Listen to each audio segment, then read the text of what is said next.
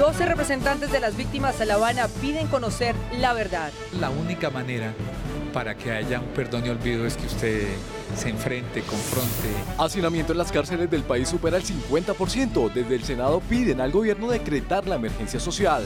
En Colombia son presos también los guardianes de un régimen inhumano, trabajan en condiciones muy difíciles. Comisión Segunda solicitó a las autoridades informar sobre las consecuencias del uso de las armas Taser. Aclarar la reglamentación del uso de este tipo de armas, por una parte, y cuál es el impacto real que estas armas tienen en la salud de las personas. El presupuesto en educación se invertirá en fortalecer los programas de cobertura y calidad. Queremos darle oportunidad a los jóvenes de Colombia eh, que no pueden asistir a una universidad o a un centro tecnológico. En Para Contar, senador Galán explica cómo será el proyecto del uso de la marihuana para fines medicinales. Con fin de tratar el dolor, fines analgésicos y de calmar también la ansiedad que producen las enfermedades. En el Senado se discute un proyecto de ley para que las propinas se destinen a los meseros y no a los establecimientos públicos.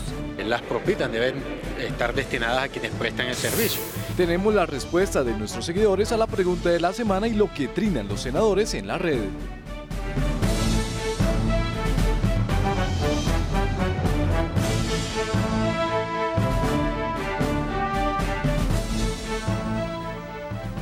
Bienvenidos a NS Noticias, el noticiero de los colombianos. Comenzamos.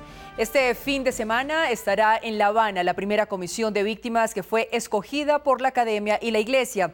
Serán las primeras 12 personas de 60 que llegarán a pedirle a las FARC toda la verdad y garantías de no repetición. El primer cara a cara entre víctimas y victimarios se producirá este sábado donde se espera el reconocimiento de las FARC a quienes vivieron directamente sus embates violentos. La única manera para que haya un perdón y olvido es que usted se enfrente, confronte, eh, y la otra parte pida finalmente el perdón. Y tienen que pedir perdón los empresarios que por defender unos intereses económicos ayudaron a crecer la guerra y tienen que pedir perdón los dirigentes políticos que en medio del conflicto ganaron espacios políticos. Sobre el anuncio de alias Timochenko en el sentido de que este año ya no se alcanzarían acuerdos de paz, el senador Benedetti dijo que hay que ser optimistas. Ha habido por lo menos 11 procesos de paz en el mundo. Ninguno ha durado menos de cuatro años. Yo lo que sí creo es que ha habido unos avances significativos. Este año, usted está diciendo que este año faltan tres meses, cuatro meses para que se acabe el año, pero estoy seguro que el otro año tendremos paz. Pero otro es el sentir desde el Centro Democrático. Según la guerrilla, solamente se ha avanzado en un 25% de la agenda y ya vamos para dos años de diálogos, lo cual quiere decir, cualquiera lo puede deducir, que estas conversaciones al ritmo que van podrían durar cerca de seis u ocho años. Exceptuando al Centro Democrático, los demás senadores son optimistas frente al cese al fuego bilateral y dejación de armas, puntos próximos a debatir en La Habana. De otro lado, el empleo de las armas Taser por parte de la Policía Nacional fue objeto de debate en la Comisión Segunda del Senado.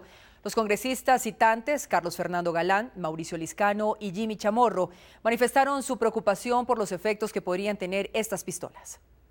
El objetivo del debate era, de acuerdo con el senador Carlos Fernando Galán, conocer el impacto de las pistolas Taser aclarar la reglamentación del uso de este tipo de armas, por una parte, y cuál es el impacto real que estas armas tienen en la salud de las personas. El senador Iván Cepeda se manifestó en contra de darle a la policía nuevas armas para el uso de la fuerza. Es necesaria una política de seguridad basada en otra clase eh, de factores como la educación ciudadana, como buscar la mejoría de las condiciones sociales de la gente. Todo lo contrario opinó la senadora Tania Vega, que señaló que es pertinente el uso de las mismas siempre y cuando se guarden todas las normas y se sea, se sea muy eh, disciplinado en la capacitación de las personas que lo utilicen. El director de la policía afirmó que estas se han usado en 41 eventos y no han tenido ningún problema. Se emplea, eh, digamos, en lo posible de manera subsidiaria y para evitar que personas que puedan estar poniendo en riesgo la vida de otros, incluso la suya misma, puedan llegar a causar eh, daño a la integridad física de ellos o de otros. Las pistolas Taser pesan 400 gramos. En 5 segundos descargan entre 2,1 y 3,9 miliamperios y su efecto es paralizante. Decretar la emergencia social para superar la grave crisis carcelaria le pidieron al gobierno desde el Senado. El hacinamiento, la mala infraestructura y las condiciones de insalubridad tienen en jaque el sistema penitenciario. Colombia tiene 138 cárceles que albergan a una población interna de 157 mil reclusos. De los cuales 117 mil aproximadamente están intramurales, los demás están en otra condición diferente, que es prisión domiciliaria, detención domiciliaria, están eh, con dispositivos electrónicos. Otras 41 mil personas hoy están sindicadas, más no condenadas, lo que genera un hacinamiento que hoy alcanza niveles del 53% según el IMPEC. La inmensa mayoría, por no decir que todas, presentan un hacinamiento, eh, muy, unas muy cercano al 100% y hay otras como la de Bellavista, que su hacinamiento está por encima del 200%. Para el defensor del pueblo lo que se requiere es reformar el sistema acusatorio y resocializar a los reclusos con planes integrales. Hay que, hay que permitirle a los internos que puedan estudiar trabajar, hacer deporte, es decir, que estén ocupados para prepararlos de su regreso a la sociedad. Por su parte, la solución para el senador Roy Barreras es liquidar el IMPED y crear otra entidad que se haga cargo de la crisis carcelaria. En Colombia son presos también los guardianes de un régimen inhumano, trabajan en condiciones muy difíciles. Yo creo que hay que hacer una nueva entidad penitenciaria respetando los derechos laborales de los trabajadores que nos preocupan mucho. Según cifras oficiales, cada semana ingresan a las cárceles entre 300 y 400 colombianos y cada interno le cuesta al Estado entre un millón y un millón doscientos mil pesos mensuales. El gobierno nacional aplazó por un año la posibilidad de vender Isagen. Los senadores se pronunciaron sobre esta decisión del Ejecutivo. Esto fue lo que dijeron. Isagen es la tercera generadora de energía eléctrica en el país, uno de los patrimonios más representativos del Estado. Por esta razón, los senadores aplaudieron la decisión del gobierno de no vender esta empresa que genera ingresos a la nación. Tenemos que seguir defendiendo no solo para que se suspenda temporalmente, sino que sea una suspensión definitiva que el gobierno nacional ha planteado. Transferirle una empresa que es exitosa, que es rentable, que le produce al país eh, en ingresos operacionales más de 2 billones de pesos al año a una nación eh, sacrificando la soberanía energética y la seguridad nacional, yo creo que esa era una decisión desacertada. No queremos que se haga la carrera y que se haga con toda la precaución y si el gobierno toma esa decisión, bienvenido es. Este compás de espera de un año es saludable para las finanzas públicas, pero espero que esto no atrase en modo alguno el calendario de las obras de cuarta generación que son inaplazables para la competitividad del Estado. Además de las diferentes propuestas sobre la reelección presidencial, los partidos con asiento en el Congreso tienen sus iniciativas sobre la silla vacía y las listas que se deben presentar a las elecciones presidenciales. La reforma política que se estudiará en el Senado también contendrá propuestas sobre el futuro de la silla vacía y la posibilidad de eliminar el voto preferente. Silla vacía. Debe extenderse, a nuestro juicio, a aquellas situaciones que se presentan cuando la persona que es miembro de una de las cámaras legislativas es sancionado por asuntos de corrupción. Radicamos un proyecto para establecer la sanción de silla vacía por corrupción. La silla vacía no solamente para casos, por ejemplo, relacionados con eh, financiamiento de grupos al margen de la ley, quienes tengan vínculos con grupos terroristas, sino también por actos de corrupción. Listas. Lo importante no es si son abiertas o si son cerradas, lo importante es que el clientelismo y el billete de la mafia o de la corrupción no imponga los candidatos en las listas y menos los candidatos exitosos. Las listas cerradas son listas disciplinadas, son listas consistentes, listas coherentes que impiden, por ejemplo, la entrada de dineros ilícitos. El voto preferente tal como hoy está concebido es altamente inconveniente. En otras noticias, la Comisión Quinta del Senado prepara un debate sobre la utilización por parte de las empresas petroleras de la denominada tecnología STAR. Según los senadores de esta célula legislativa, este procedimiento está generando graves afectaciones al medio ambiente. Hablamos con el senador Jorge Enrique Robledo, citante a este debate, quien afirmó que la implementación de esta tecnología evidentemente ha causado grandes daños en las zonas donde se ha implementado. Es una zona de Colombia donde nunca ha habido sismos y desde que empezaron ese proyecto de combustión in situ, in situ, que es algo así como incendiar el campo allá en la profundidad de la tierra, empezaron a aparecer por decenas o centenares de sismos. Que nos debe llevar a una reflexión sobre el valor, el lo, que logramos por regalías con la extracción de estos recursos naturales no renovables eh, compensa el daño en materia de pérdida de recursos hídricos, de agua, contaminación. Un ejemplo claro de estos daños se evidencia en el departamento del Casanare, así lo afirmó la senadora Maritza Martínez.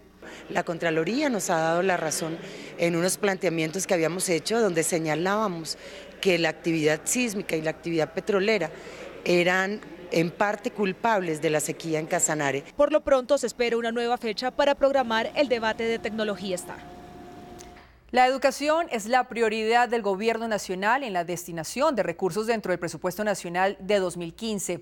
La idea del Ejecutivo es que en el 2025 Colombia sea el mejor país con una educación de calidad en Sudamérica. Los senadores destacaron este incremento.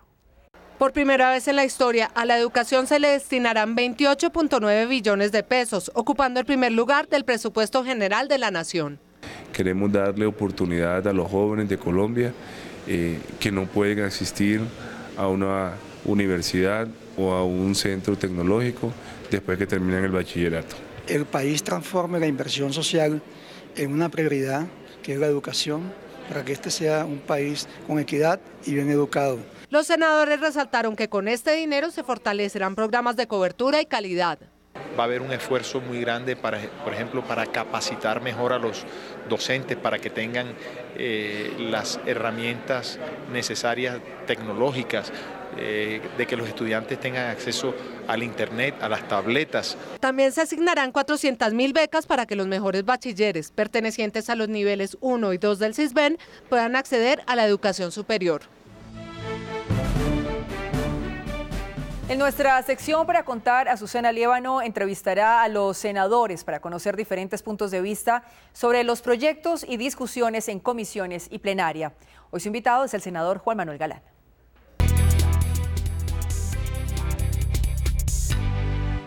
Hoy en Para Contar estamos con el senador Juan Manuel Galán, es presidente de la Comisión Primera, donde por supuesto hay temas importantes para el país. Uno de ellos es el que tiene que ver con el proyecto de el uso de la marihuana para eh, fines terapéuticos medicinales. Senador, bienvenido y cuéntenos un poco cómo es para que la gente entienda de qué se trata este proyecto. El proyecto nuestro es muy sencillo, son simplemente cuatro artículos en donde autorizamos al gobierno nacional que inicie las investigaciones técnicas, científicas, médicas, para viabilizar la posibilidad de que los médicos puedan prescribir marihuana con fin de tratar el dolor, fines analgésicos y de calmar también la ansiedad que producen las enfermedades y los tratamientos. Y en ese trámite de ese proceso del que usted habla, además de ambientar a la gente sobre el proyecto, ¿cuánto tiempo se va a demorar? Pues nosotros creemos que no hay ningún afán, creemos que este proyecto debe ser debatido ampliamente, escuchando todas las opiniones, pero sí queremos que el debate tenga un nivel de evidencia científica, técnica, médica y que no sea simplemente posturas caprichosas, ideológicas de blancos y negros o de buenas y malas. ¿Usted cree que eso es un buen resultado para las personas que realmente están necesitando una cura a través de, por ejemplo, el, tema de la marihuana? Esto ayuda, por ejemplo, que los enfermos de cáncer eh, que se tratan con quimioterapias, que son enfermedades muy agresivas, eh, y tratamientos muy agresivos puedan calmar su ansiedad, conciliar el sueño, eh, digamos, tener hambre para poderse alimentar, eh, pero también disminuir los dolores que padecen. Bueno, senador, otro de los grandes retos que tiene usted como presidente de la Comisión Primera, pues es el tema político, la reforma política, reformas importantes como la reforma a la justicia. ¿Cómo ve? ¿Cómo ve que se va a dar ese debate en la comisión con la oposición? Y todo lo que se presenta en la comisión? Pues nosotros tenemos un gran desafío en la Comisión Primera del Senado, que es estudiar la reglamentación del marco jurídico para la paz a través de leyes estatutarias que presentará en un momento dado el Gobierno Nacional, de acuerdo a la dinámica del avance de las conversaciones en La Habana. Pero también tenemos a nuestro cargo el reto de la reforma política, donde nos la vamos a jugar a fondo por eliminar la reelección presidencial. Bueno, ahí le va a tocar a usted como mano dura en ese debate, ¿o no? Pues eh, vamos a orientar los debates apegados al reglamento y a la ley quinta, dándole plenas garantías también a la oposición para que participe y dé sus aportes. Senador, muchas gracias por su tiempo para el Noticiero del Senado. Muchas gracias a ti, Azucena, y a todos los televidentes del Noticiero del Senado también mis agradecimientos. Soy Azucena Liévano. La próxima semana, más temas para contar. A raíz del cierre de la frontera con Venezuela para combatir el contrabando, el senador Andrés Cristo afirmó que Norte de Santander no puede seguir dependiendo del país vecino e hizo un llamado a la aprobación de la ley de fronteras. El senador Andrés Cristo afirmó que el cierre de la frontera afecta a Cúcuta e incrementa el desempleo, que ya es de una tasa superior al 19%. Por eso, en lugar de cerrar la frontera, propuso hay que evitar el contrabando, pero también hay que fortalecer las salidas legales que tiene que tener una ciudad importante como Cúcuta y su área metropolitana. De igual forma, hizo un llamado al Congreso a priorizar la aprobación de la ley de fronteras que ayudaría a combatir este desempleo y a que esta zona fronteriza no dependa exclusivamente de Venezuela. Hay que generarle unas garantías también a los empresarios de orden aduanero, de orden tributario, de orden laboral, que den facilidades para que lleguen a invertir, para que lleguen, entre otras cosas, a decir a Cúcuta y a convertirlo en un pueblo de desarrollo. Hoy en La Gente Dice preguntamos sobre el pago de las horas extras.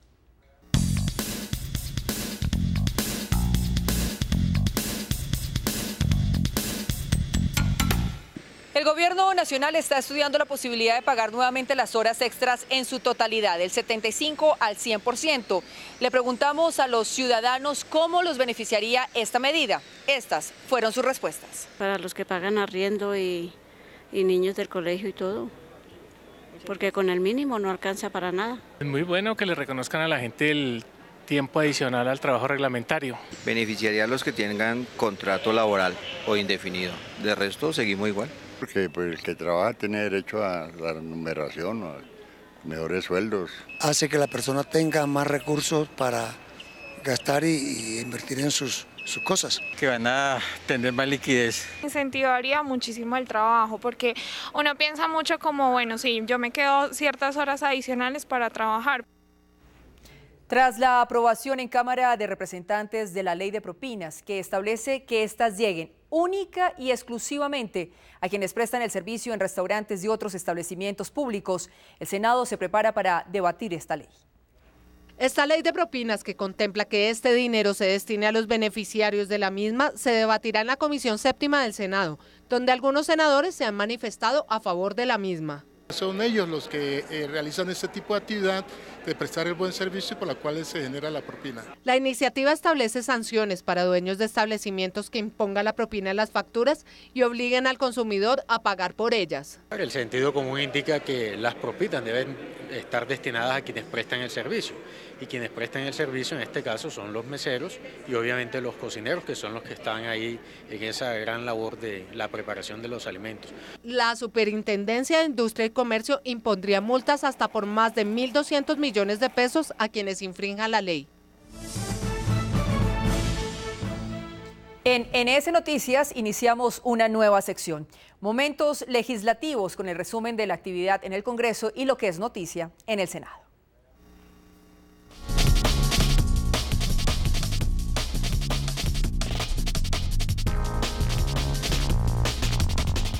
El senador Alfredo Rangel del Centro Democrático radicó un proyecto de ley para crear un tribunal temporal para las fuerzas militares con el fin de enmendar errores por juzgamiento a sus miembros. Lo que se trata es de que este alto tribunal sea la última instancia de los procesos que actualmente están en curso eh, en los cuales están inmiscuidos miembros de las fuerzas militares por hechos relacionados con el servicio. Julio Miguel Guerra, senador del Partido Acción Ciudadana, radicó el proyecto de biodiesel social con el fin de beneficiar no solo el medio ambiente, sino también el sector rural. También radicó el proyecto que busca regular el uso del aceite para frituras.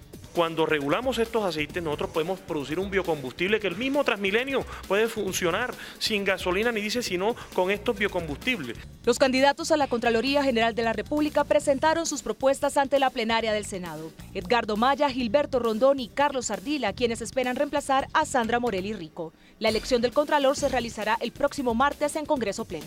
Un proyecto de ley del senador Fernando Tamayo pretende dar garantías laborales para mejorar la calidad de vida de más de 2.000 ediles de juntas administradoras locales de todo el país. Mi proyecto de ley está encaminado a que todos los ediles a nivel nacional tengan un reconocimiento económico de acuerdo a la categoría del municipio en el que se encuentren eh, funcionando. El primer vicepresidente del Senado, Jaime Durán Barrera, cuestionó la representación del Partido Liberal en el nuevo gabinete del presidente Santos, al tiempo que lamentó que su departamento Santander se haya quedado sin ministros.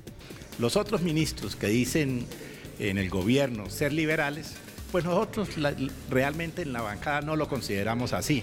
No vemos de liberal al ministro de Salud, ni al ministro de Comunicaciones, ni a la canciller. El senador Jaime Amín del Centro Democrático radicó proyecto de ley que busca crear un fondo especial de ingreso mínimo garantizado que asigne un bono para los niños de familias vulnerables advertimos la necesidad de que más niños colombianos nacieran con igualdad de derechos. La directora administrativa del Senado anunció que ya quedaron listas las adecuaciones de las oficinas de los senadores para que puedan desempeñar sus labores cómodamente y sin inconveniente alguno. Hicimos todo el, cambio del mobiliario, que era un mobiliario totalmente antiguo y que no reunía las condiciones de ergonomía que nos exigía la ARL positiva por un mobiliario que sea adecuado a las condiciones ergonómicas que hoy por hoy nos exigen las, las entidades de riesgos profesionales.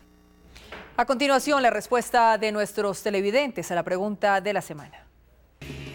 A la pregunta ¿qué cátedra incluiría usted en los colegios para mejorar la educación? Estas fueron las respuestas de nuestros seguidores. Arroba M.